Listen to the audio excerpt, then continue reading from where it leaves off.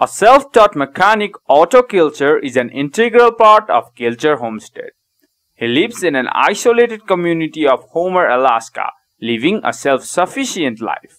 Otto was born in Homer, Alaska to Swiss parents Yule Kilcher and Ruth Weber. Both fled from Switzerland to Alaska during the tension of the Second World War. He grew up in the wilderness of Alaska alongside his seven siblings.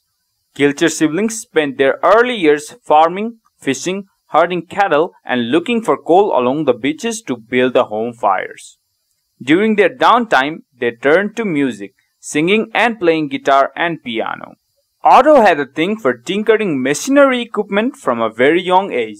His curiosity and persistence in learning made him a mechanic by the time he grew up. The self-taught mechanic is jack of all trades.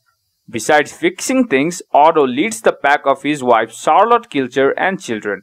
He helps his family in breeding cows, growing farms and preparing for the cold winter of Alaska.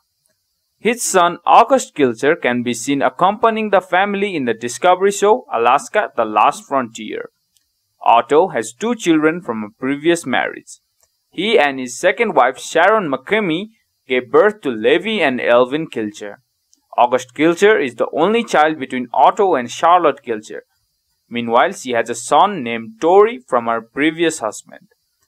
That's all the updates we have on Otto Kilcher. Leave a like if you enjoyed. Subscribe to the channel for more content. Also hit the notification bell so you never miss an upload.